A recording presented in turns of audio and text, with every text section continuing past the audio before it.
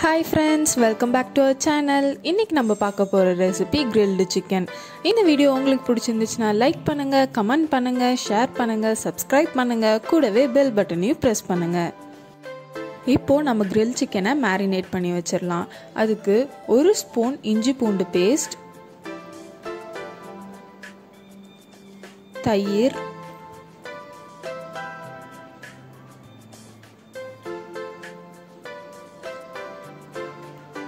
தனி மிளகாய்த்தூள் one tablespoon கொஞ்சம் food colour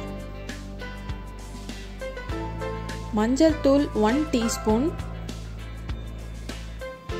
chaat masala one teaspoon garam masala one teaspoon கூடவே வினிகரும் ஆட் பண்ணிக்கோங்க. இங்கே தயிரும் வினிகரும் சிக்கனை சாஃப்ட் ஆக்கிறதுக்காக யூஸ் பண்ணுறோம் உப்பு மூணு டீஸ்பூன்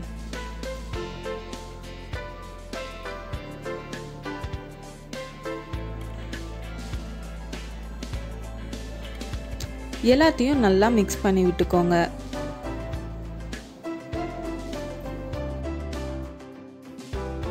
இப்போது சிக்கனை அங்கங்கே இந்த மாதிரி கட் பண்ணி விட்டுக்கோங்க. அப்போ தான் மசாலா வந்து உள்ளே வரைக்கும் போய் நல்லா டேஸ்ட் கொடுக்கும்.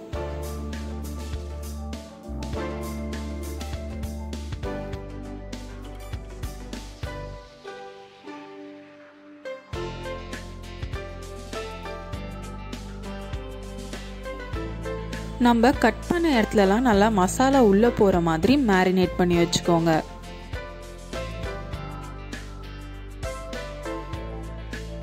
சிக்கனை மேரினேட் பண்ணி எயிட் ஹார்ஸ் அப்படியே விட்டுருங்க.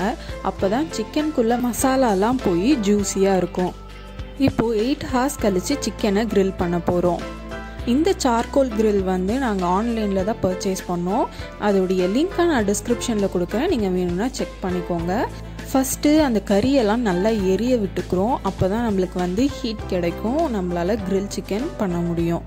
கறி எரிஞ்சிட்டு இருக்கும் போதே நீங்கள் சிக்கனை வச்சிங்கன்னா வெளியெல்லாம் கறிகிடும் உள்ளே வேகாமையே இருக்கும். அதனால கறி நல்லா எரிஞ்சு கனலானதுக்கு அப்புறமா சிக்கனை வேக வைங்க.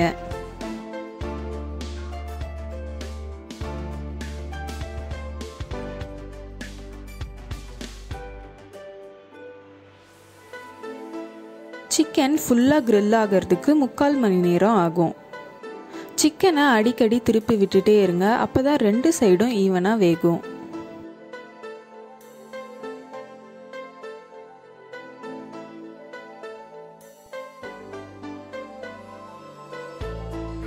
முக்கால் மணி நேரம் கழிச்சு சிக்கன் நல்லா கிரில் ஆயிடுச்சு.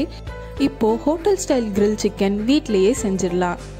இது கூட மின்ட் சட்னியோ இல்லை மைனைஸோ வச்சு சாப்பிட்டீங்கன்னா ரொம்பவே சூப்பராக இருக்கும். அவ்வளோதாங்க சூப்பரான க்ரில் சிக்கன் ரெடி